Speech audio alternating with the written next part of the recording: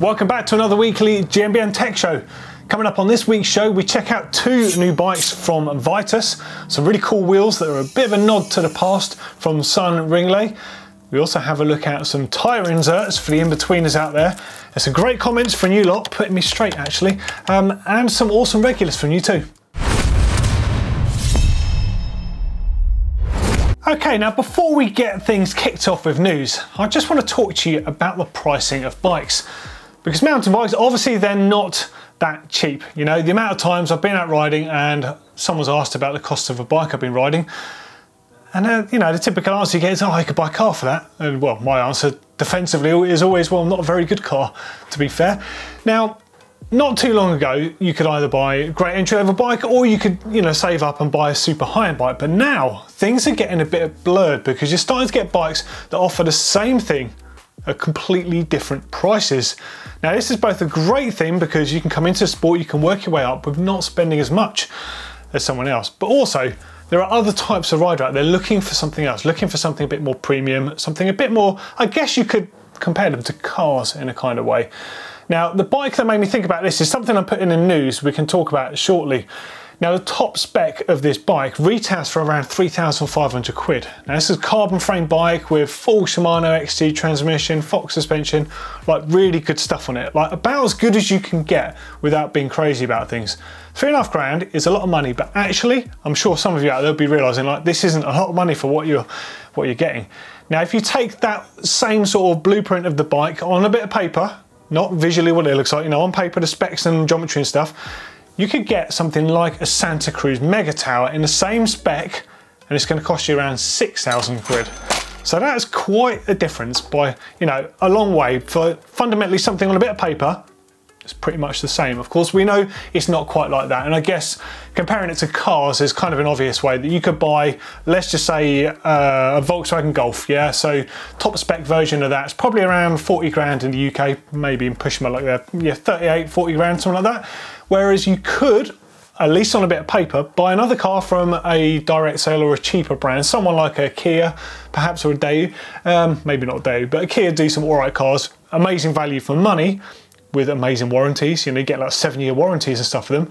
Why would you not go for something like that? At the end of the day, it's just a car. And given the fact that the Golf isn't exactly a supercar, you know, you've got to weigh these things up for the massive money that you're saving. And I think some bike manufacturers out there, there's a load of them, Privateer bikes, Calibre bikes, Vitus bikes, even Nukeproof are doing great value bikes, Bird, MTB, there's loads of brands out there offering incredible value.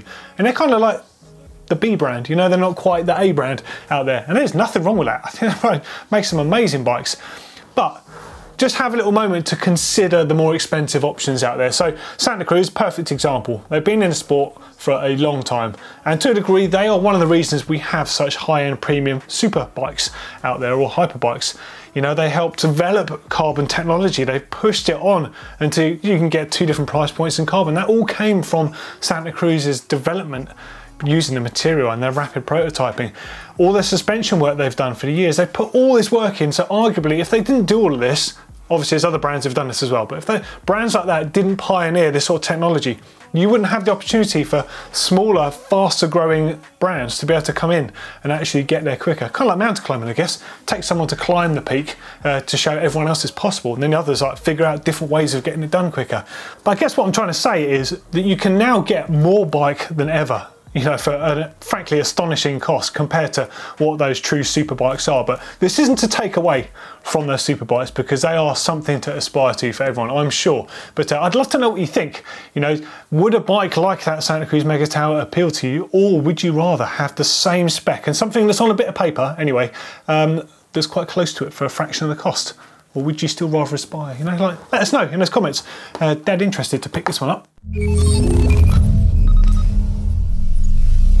Okay, so let's hop into news and we're gonna go straight in with one of those bikes that I was just referencing. So we're taking a look at the new bikes from Vitus, the Escarp and the Summit. So here's a selection of shots on screen for you at the moment. And I think you'll agree with me, they don't look like cheap bikes. But let's have a closer look and you can decide for yourselves. So there's two options out there. So the Summit to start with comes in 27.5 and 29 inch versions. Uh, this is it you can see on screen. There's a variety of different colours and specs which I'm going to tell you a bit about. So the 27.5 has 170mm travel, the 29 slightly less at 162. Obviously got to accommodate those wheels in the frame. Now this is focused for enduro and free ride. Geometry on this, right, so there's four sizes, 64 degree head angle on all sizes in both wheel sizes. Reach on them slightly different between different wheel sizes. 424 to 504 on the small wheels, really good sizing. Uh, and 418 to 498 on the 29s also really good sizing. Chain stays 435 or 440 in millimeters, so that is really good, different wheel size, different chain stays. And then the seat angle change, changes between sizes as well. Uh, nothing to do with the wheel size here. This is uh, size specific. So the smaller sizes are nearer to 76 and a half. The larger sizes, 77 and a half. So um, really progressively sized bikes really. Now the pricing, this is where they get cool. So the cheapest model comes with a RockShox Yari 170mm, this is it on screen, Super Deluxe shock, Deore 12 speed on there, WTB wheels, and it's even got Assegai and Minion DHR2 tyres on it for 2,399 quid in the UK. So that's about 2,800 euros or 3,000 US dollars. So that is a hell of a bike for the money. It really is. Now it's got really good suspension platform. We're going to talk about this in a second because uh, both this and the Escarp share a similar frame layout, but they just have different intentions. Uh, but the top spec version of this retails for about 3,600 quid, which is four and a half thousand dollars or 4,200 euros. That's got Fox 38 Grip 2 on it, Fox DHX2 shock, uh, Shimano XT 12 speed, DT 17 M1700 wheels, and Assegai Minion tyres on there for three and a half grand. Like that is just mind-blowingly good. And let alone when you find out the rest about the actual frame. They haven't just got, you know, haven't just bought a frame from the Far East and just kitted it out with really good spec. It's a really good frame as well. Now, I can't emphasize that enough. Uh, just a quick bit about this Scarp, the shorter travel version of essentially the same bike, 27.5 and 29 inch versions, 140mm travel, aimed at the all mountain sort of category. Again, four sizes, slightly steeper, 65 degree as opposed to 64 degree. Uh, the reach is similar, 430 to 510 and 437 to 505 for 27.5 and 29 respectively. Hopefully that's not too complicated. Uh, chain stays the same, 435 and 440 on the two different wheel sizes. And again, the seat angle gets steeper with the bigger sizes. We've seen this on Nukeproof and we've seen this with other brands recently, uh, from 77 to 78 degrees, uh, depending on the size. Four sizes there, um, brilliant stuff. Now, slightly cheaper on this, a little less travel, so the components like the forks are slightly cheaper accordingly. The base model, 1,999 in UK says 2,399 euros or 2,499 US dollars. Uh, these bikes ship everywhere, by the way. They're distributed by Chain Reaction and uh, Wiggle. It's got Marzocchi Z2 on it, RockShox Deluxe shock, Shimano Deore 12 speed, WTB wheels, Maxxis, Assegai and Dissector tyres. Ridiculous, like ridiculous. Two grand gets you that. That's just unbelievable for the money. Now also, the top end of the spec, three and a half grand. Um, in fact, the other one was slightly more, this three and a half grand, uh, 4,000 euros, 4,200 US dollars. Uh, it's got Fox 36, Float DPX, uh, DPS even, if we can get my words out, Shimano Deore 12 speed, uh, sorry, Deore XT 12 speed, DTM 1700 wheels, and again, the Maxxis combination of tyres there. Astonishing value. But this is where it gets cool because it's not just an average frame like I was saying. So it's got a T700 carbon, Toray carbon front triangle, 6061 aluminium rear triangle, so uh, saving basically on a bit of cost there, but also yeah, actually, it's a good, good thing to have an aluminium rear triangle they tend to be the stuff, if you're going to thrash the pants off a bike, that's where you're going to get damage on it first. So uh, flip chip for adjustable geometry on them. The seat tube, this is cool. So on all sizes, they've got again the maximum amount of dropper seat posts you can possibly get in there. So on the size small, you can fit a 150mm drop post, and the XL, you can fit a 200mm. So that is awesome. So they're trying to cater for everyone like that might want to upsize, but also get the maximum drop posts. As we know, bike sizing and length is far more relevant for off-road bikes. So that's really cool. They've all got the SRAM UDH hanger on there, so it's the universal derailleur hanger. Bravo, the more people that can use it, the better, because it's a pain in the ass for anyone having to try and find a random mech hanger they snap it off at their season in Morzine. Like, so sorted, really good. Uh, big tyre clearance up to 2.6 on the 27.5 and 2.5 on the 29s. Uh, bigger bearings for better durability, easy bearings to change. Now the suspension curve is slightly improved from the previous model they say. They say it's a bit straighter and just ramps up a little bit so it can work really well with coil shocks now but it also means it's better for air shocks so you can tune it a bit better rather than having these sort of strange humps in that travel. Uh, they've lowered the anti-squat so uh, what they believe, in fact Nukeproof are the same, they've got the same theory on this they um, rightly so believe that less anti-squat is actually better because you have too much anti-squat the bike feels a bit bit rigid, a bit chattery on stuff. So they've lowered the anti-squat in the higher gears where you're be pedaling out. But in the lower gears where you're climbing they've got a slightly more increased anti-squat. So it's going to sit up a bit and not sort of suffer with a suspension bob there. So really cool. Um, it's got quite a bit of anti-rise on there. So bike's not going to really pitch forwards uh, but it's not got too much. It's going to ruin things on that bike. So um, and it's got clear frame protection just like the Nukeproof bikes do as standard. Now it won't be as much on there as a full kit like from one of the brands like Invisiframe but it comes with clear protection as standard. Come on other brands, take note of this. Why would you not do this on your lovely carbon fibre front triangles that chip oh so easily? Uh, brilliant value for money, uh, bravo to Vitus Bikes. Uh, let us know what you think in those comments. There's loads of shots here, they sent us loads of cool shots. And that's also the way to launch a bike. Do a great bike with great ergonomics, great sizing, great suspension kinematics, and great images for everyone to see how good they are. Uh, go and check them out, awesome stuff. Right, okay, next up, uh, Vittoria. We obviously run Vittoria tyres here at GMBN. This is a bit of a no man's land still. The gravel route, the in-betweeners, so they both suit us because I know loads of friends that ride gravel bikes, uh, including Blake, he's got a gravel bike, really likes it. Um, and now it means he can ride a gravel bike without slashing his rear tyres constantly because he does things on his gravel bike that you really shouldn't people kind of forget they're not a mountain bike, they're a gravel bike. Anyhow, they now make their tyre liners for gravel bikes. Uh, so they're suitable for rims up to 25 mil wide. Uh, you can cut them down basically so they can fit 27 halves um, if you really want them to, or the bigger 700c size or 29 inch wheel size. Now the good thing about these is they help absorb impact, so they do help protect your rim and that. But ultimately, the thing that's different about the airliners compared to other tyre inserts like a Cushcore, for example, A, they're a fraction of the cost, B, they're easy to fit, very easy to fit by comparison, but they don't quite do the same thing. Now this is important to say. The cool thing about these is they're, they're designed to run flat. So if you do get puncture or slash your tyre, in that section of trail where you could damage your rim normally or damage your tyre more, enables you to keep riding basically until you can get somewhere to fix it. Or if you're in a race situation, say you're in a cross-country race or you're, you know, you're in a gravel race, whatever, it means that you can finish what you're doing without having to sort of risk the bike yourself.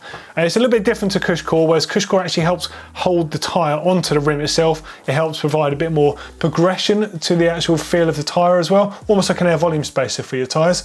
And now Cushcore is amazing, not muddy in that for sure, but it's a very different thing to this.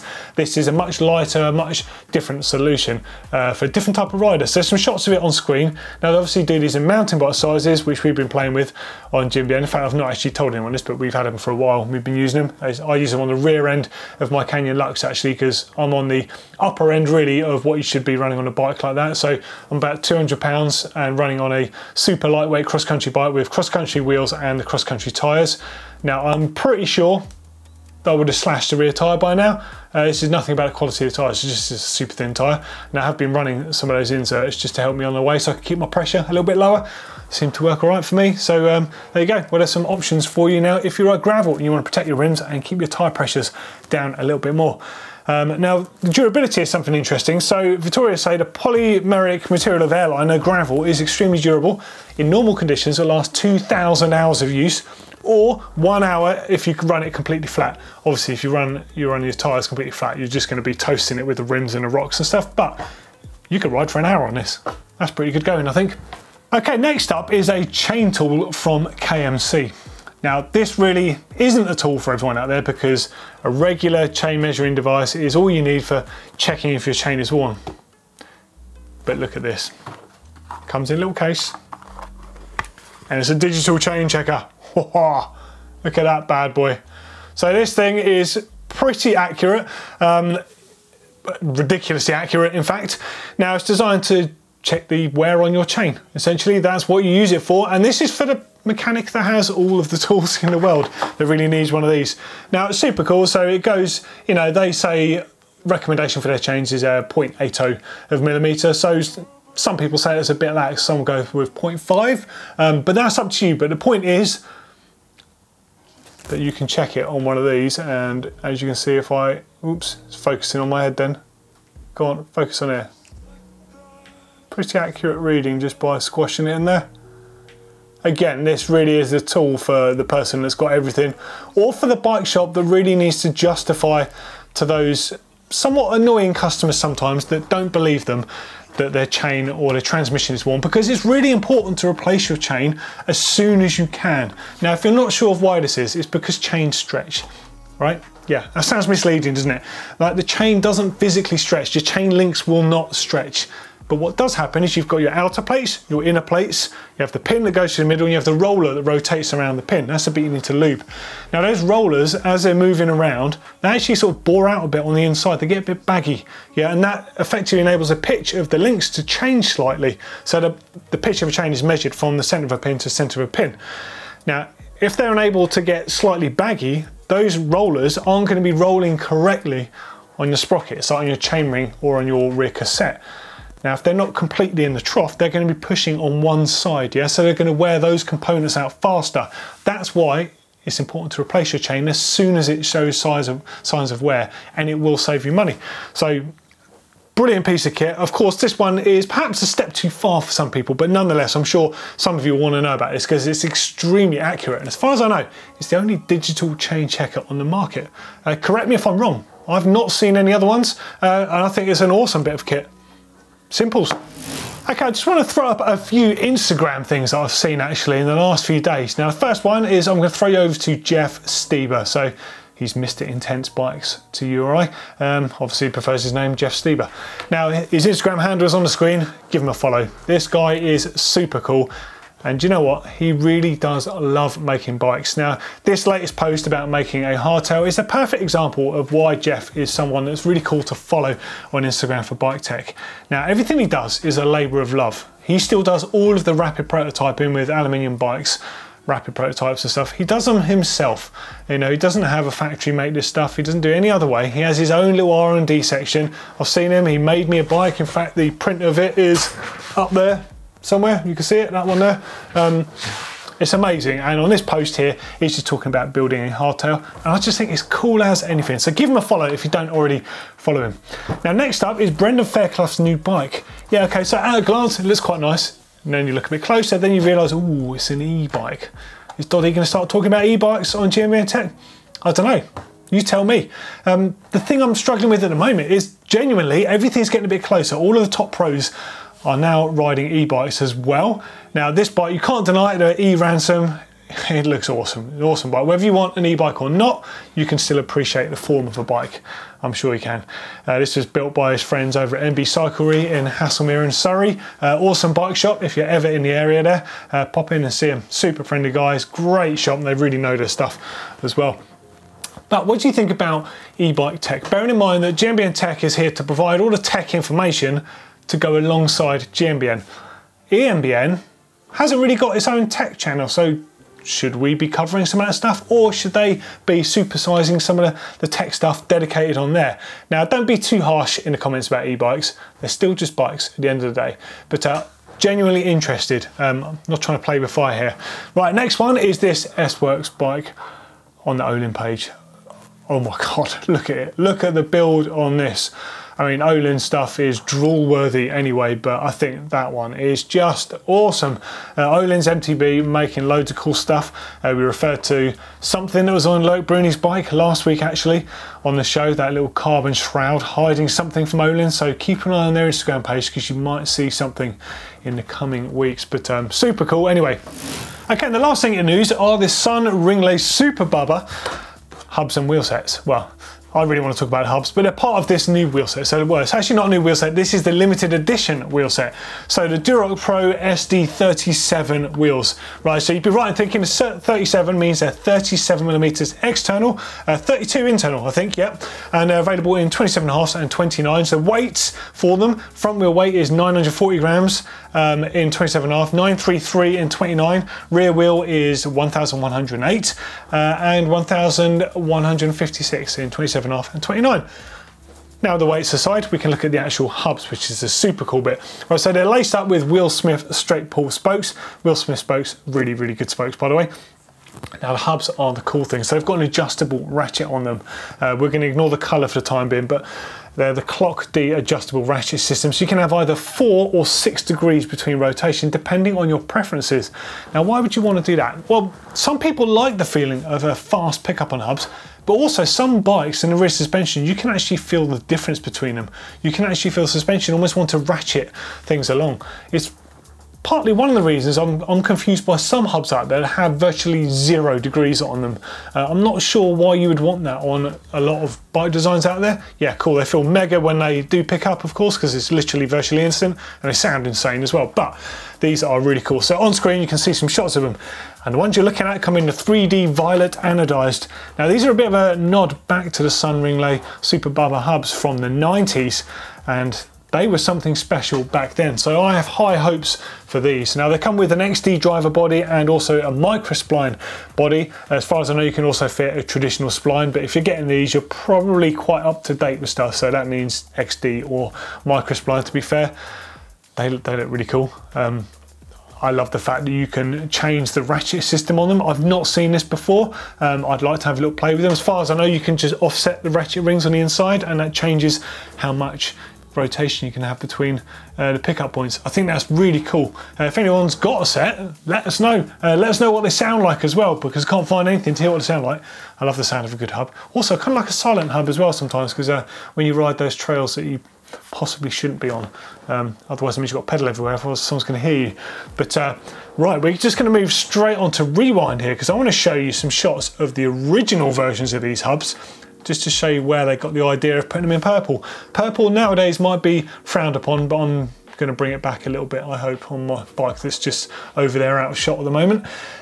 But here's the old ones. So this is on a Yeti Arc full suspension bike. It used to belong to Missy Giove. It's from 1991, this bike. And the shots actually were provided to me by Pete Drew. He's an amazing photographer, so just a big up to Pete.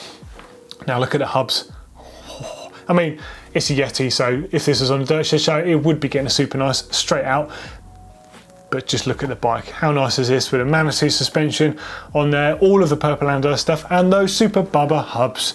Uh, man, they were seriously nice back in the day, along with their, their seat post. I think it was called the Moby post on it, where it had a single bolt. It had like a clamp that uh, your saddle rail clamp used to revolve and had a single wrap around it with one bolt. Really cool design, nice and sleek. They had the Zuki or the Zook stem, which was really, really nice. Big billet aluminium machined into a kind of cool shape. Had all sorts of stuff they had there. Um, I've forgotten the name of their the bolt cage was called H2O, and then they also had their quick release levers with the holes milled through them as well. Super cool brand back then, so I'm really pleased to see those Duroc Pro SD37 wheels back. High hopes for those, I think they could be really cool as well. So nice and light, and also really durable too. Okay, so let's take a little look at comments from last week's show. Now, I'm kind of really enjoying this because I look through the comments anyway, but it's actually kind of nice to be able to read some of these out because uh, uh, some people kind of correct me, which is cool. I like that, put me in my place. I don't mind that, it's all good. And other people bring stuff up I hadn't thought of. So in last week's show, I was basically talking about downhill bikes, and yes, they are amazing don't don't get the wrong end of the stick here. But I was just thinking, are they kind of pointless for a lot of people? So uh, PC says, well, as for reference to Formula One, the tech trickles down a mountain bike too. Would you ever see enduro bikes with 160 to 180 mil of travel, crazy geometry, great tyres if it wasn't for downhill bikes? Also pedals, armour, helmet, helmets, the list goes on. Uh, yeah, I completely agree with you. 100% loads of technology does come from there, But also there's a lot of technology that comes from the cross-country end, which is often not really sort of thought about or considered.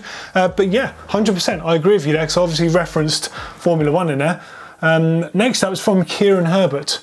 Down a bicycle, they always have been. Enduro bikes are great for most things for average riding ability though. Uh, yeah, they are. 100% totally agree with that. Lister Welsh. Downhill bikes are a massive waste of cash. Ooh, straight in with a kick to the teeth there.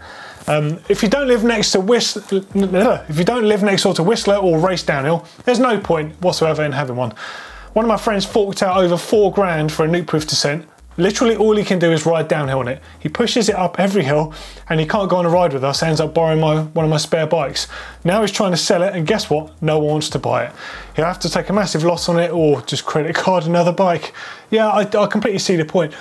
If anyone out there is in the market for a downhill bike, let us know. That'd be interesting. You know, what your reasons are. Are you a racer or do you just really want one? I think downhill bikes are really cool, but I kind of do still agree with that, that sentiment. Like, if you live somewhere where you can really ride one, then great, like, awesome, enjoy it.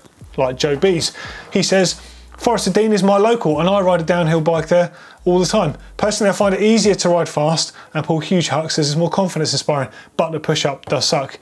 Yeah, I completely agree. But if you live there, then you'll probably get more out of it because you know all the best trails to ride on it as well. And also, by living there, you're probably I'm taking a wild guess here, you probably wouldn't mind pushing your bike up five or six times, doing a few runs. Whereas if you're, say, if you're me and you drive there, I want to get in as many runs as possible uh, in the short space of time I've got. And you don't always get a good run and you feel a bit ripped off if you've got pushed back up again for another run that you don't know. Um, I think it's amazing that you ride. I see loads of rippers riding uh, some of the more off-piste stuff there on downhill bikes. I guess you're probably one of them. But um, yeah, good for you. But yeah, pushing up hills does suck. But there is something else to be said for that actually. A lot of people push up the fire roads, but you shouldn't technically push up any sort of trail that's got a, a way of looking. Um, a one-way trail, for example, is what I'm trying to say here, if I can get words out. But the sort of the art of sessioning has kind of been lost with modern trail centres and bikes because you kind of just do laps. That's great because you learn in a different way, but I also, one of the things I used to like about downhill bikes was when pushing back up, you start seeing different lines that you wouldn't necessarily see when you're riding down. So you'll session a section, and then the next time you do a full run, it's already imprinted on your brain. Um, so there is actually something really good to say about them. Uh, next is from uh, Brett 020. 0206, I guess, uh, four days ago, he says, all in one word there. Uh, I live 300 metres from the Mount Seymour trailhead on the North Shore. Very envious of you. What a lovely place to live and what amazing trails you have on your doorstep. Almost everyone I see is on trail enduro bikes. Useful but pretty ordinary. The coolest things I've seen are a few all-mountain hardtails um, and one old school warrior on a fully rigid bike. Ooh, crazy. I wouldn't ride a rigid bike there. A few triple crown downhill rigs here and there, uh, turn heads, but I'd say they're pretty cool. Cool and practical and not the same, obviously. Yeah, I've ridden downhill bikes there in the past, and I've actually found you ground out on them quite a lot in some of the places, and the angles aren't, you know, it's good for the slower trails. There's a lot of slower technical stuff there as well, but uh, yeah, always good. Wow, okay, and then the next one is from Cup and Cone. Are downhill bikes really the Formula One of mountain biking? Because last time I checked, it was downhill was always slow to adopt new technology compared to the XC trail peers. Oh, ah, here we go, this is good. Downhill was reluctant to ride tubeless tyres for the longest time, she said they weren't durable. Downhill was reluctant to use air suspension for the longest time, they said it would blow out compared to springs. Downhill was reluctant to use 650B and 29er wheels for the longest time, they said it was uncontrollable. Should I continue? Very good point, and Cone. I'm going to leave it right there. And now it's time for top mods. Now this is all about the modifications you make to your bike. And what is a modification? Well, literally anything that makes your bike a bit different to how it came when you got the bike. Or ideally, a load of customization to make your bike even better and different to all your mates' ones. Now, same thing applies, there's a link to our uploader there and another one in the description. And we're gonna jump straight in with this really nice looking hardtail. So this is a Whyte 905, so these are from the UK, British brand, uh, quite progressive in their geometry, and you can see that by the length of the dropper post in there and how low the seat tube is in relation to how long the front end is. Uh, really decent bikes. If you've not heard of them, check them out. Well worth a look. Anyhow, this is from Peter. He says it's my Whyte 905 2021, so smoking new, um, legendary British hardtail from Berkshire. I bought this new bike in lockdown. Running down hills was no fun. Yeah, absolutely. Bikes, you know, you're supposed to run away from things. You're not supposed to run for the fun of things. Um, I've upgraded the brakes. Now got SRAM code R's on there. Very nice. Uh, new grips, DMR Death grips, 200mm front rotor, Deity T-Mac flat pedals. Amazing improvements to an amazing bike flat pedals that look perfect on there. Look at the colour coordination on those. Looks great. Looks really good. I'll tell you what, there's a few brands out there doing some nice anodized green stuff. You can get some green valve stems that look pretty sick on that bike. I think there's a few brands out there, like Muc-Off do loads of coloured ones, PTs do loads of coloured ones as well. Also worth looking at Burgtec, they do loads of spacers and stuff for your, uh, your stem. So you get matching green ones on there. Go to whole hog. But looking awesome so far. Sorry, I'm just trying to take you spend more money here. Uh, the death grips look good. I like the flangeless death grips, I've got to say. Um, I heard someone griping about those the other day saying, what's the point? But I think they're better. To be honest, you've got better access to the shifter. But your bike looks awesome. And loads of great pictures of it as well. I can tell it's your pride and joy. Because the amount of pictures you've taken pretty much from the same angles. But uh, oh, look at that one in the sun. That looks great. It's a nice looking bike, that. Who's a hardtail lover out there? Everyone hardtail lovers, or do people prefer full sus? Uh, pick up in a conversation because we've got another hardtail here, and this is another progressive looking hardtail. This one's from uh, Roman in around Switzerland. So Roman has a 2018 YT Capra 29XL and a 2020 NS Bikes Eccentric Alu Evo 29. So that is what we're looking at here. I built up some new wheels for my YT Capra with completely silent Onyx Vesper hubs DT Swiss spokes and nipples, and cheap Chinese carbon rims from Nextie, using this video from Ali Clarkson. Yeah, Ali making he's making some decent videos. Yeah, well worth a watch.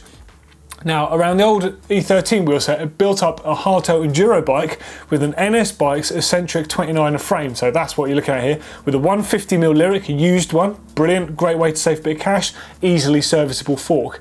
Yeah, that's a really good point actually. Buying second-hand suspension forks is a really good thing to do. Obviously, you want to check the condition of the stanchions. If they've been run dry or they've not been looked after, you could have some anodizing wear. If they look good, then most things on them can be replaced and fixed and serviced and make them feel like new. So you can snap up a bargain.